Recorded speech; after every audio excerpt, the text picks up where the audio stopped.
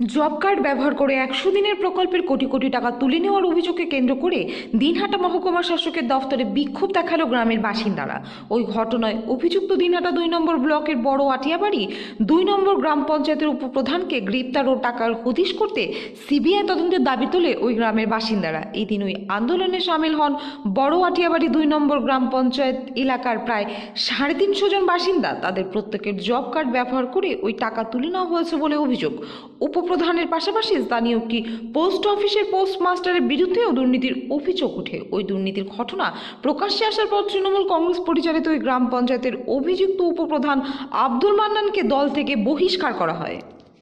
Account বই তার কাছে, তার কোনো বেনিফিশিয়ারি কাছে যায় নাই। দেয়ও নাই। তারা আনতে গেছে, তাও দেয় নাই। এখন সবাই দেখতেছে, নেটের মাধ্যমে আমার কাজ করছি, পয়সাও পাই না, আর কিছু আমার অ্যাকাউন্ট বইও দেয় না। নেটের মাধ্যমে দেখে সবার পয়সা উঠি শেষ হয়ে গেছে, তোলা শেষ হয়ে গেছে। তা আমার কাছে কথা হলে পোস্ট অফিস হলো সরকারি সংস্থা। সেখান থেকে পয়সাটা যে কোনো চাইতে একদিন চালিয়ে দিয়ে দেওয়া যাবে। কি করি পয়সাটা উঠবে? সেইটা নিয়ে আমরা এলটি সবের কাছে আসছি। জানালাম আমরা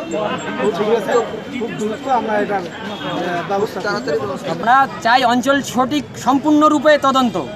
এটা আমাদের মেন দাবি। আমরা সিবিআই তদন্তের আবেদন করছি।